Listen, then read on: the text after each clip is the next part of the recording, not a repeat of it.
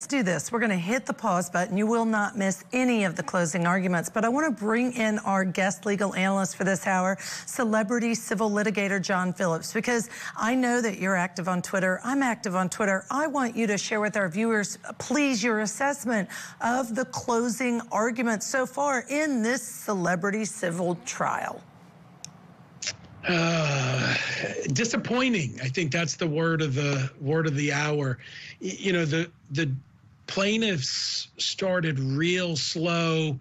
It really didn't have a theme. The defense has a theme. You've you've said it, but they're not really getting into the evidence. They're just kind of just batting stuff around. It's it's it's a little disappointing batting stuff around. I love that description, John, because that is kind of what it feels like as they're kind of going through things. And, you know, all of us have our stuff, good and bad. But the reality is, if you are going to do a closing argument in a trial, one of the viewers wanted to know this, and I'll ask you this question.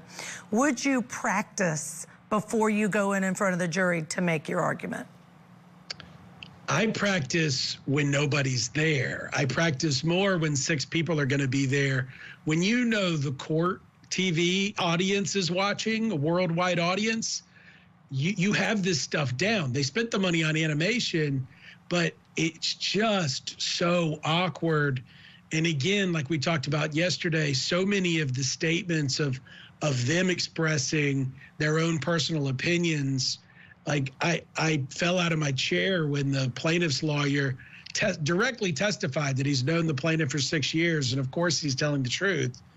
It, it, it's it's surprising, um, but you know I'm kind of used to I guess Florida and New York standards of litigation, maybe not so much, you know, Utah. And that's a really good point. Every court's a little bit different. Every state's a little bit different. So it does depend on the court. But I would agree with you. It's a, a little loosey-goosey, so to speak, a really great legal term there, but in terms of some of the rules and what's being followed in this case. All right, John M. Phillips, thank you so much. We do need to squeeze in a break.